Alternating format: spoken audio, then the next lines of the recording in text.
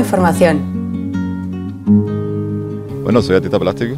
He graduado todas las escuelas, las clásicas escuelas de arte en Cuba, San Alejandro, ISA, fui profesor de ISA y básicamente lo que hago es producir mi trabajo no solamente en Cuba, sino en residencias alrededor del mundo.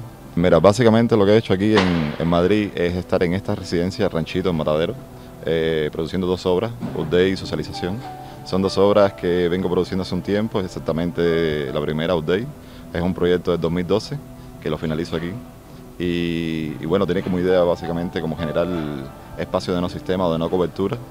Eh, yo parto de la tesis que, la, que básicamente el sistema funciona, o sea, funciona sistema, infraestructura y individuo. Y si elimino la conectividad entre sistema e individuo, es decir, las infraestructuras, como que genera un espacio de, aislamiento entre ambas partes, ¿no? Y, y, bueno, para eso he creado una zona de aislamiento a través de inhibidores de frecuencia en un búnker que encontré aquí literalmente en Matadero, perfecto para mi obra. Y, nada, esta es una de las obras que estaba haciendo. La otra es Socialización, que es una zona segura en la Deep Web. Es un, es un in progress. Es una obra que finalmente estará terminada en dos años aproximadamente. Eh, terminará en la Antártida.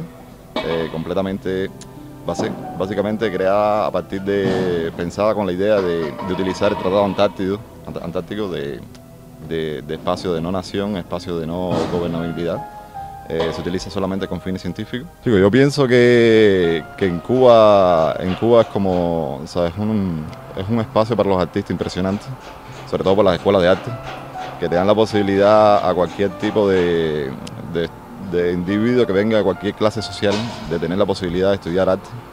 Y como tal, constantemente están generándose artistas de muchos tipos, o sea, que producen muchos tipos de arte, ¿no?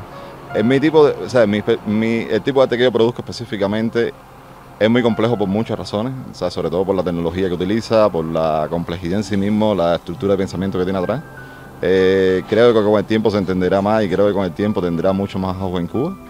Eh, ahora mismo eh, esto está como comenzando en Cuba, o sea, todos los espacios que como que, que abogan más por, por producir un tipo de arte que tenga más que genere más modelos de pensamiento, eh, que no sea específicamente pensado ni, para vender ni para un mercado específico, sino que funcione en un plano de generar un arte real, un arte real, un arte que, está abogando por, por, generar algún tipo de cambio, algún tipo de pensamiento atrás de la, de la propia obra. ¿no?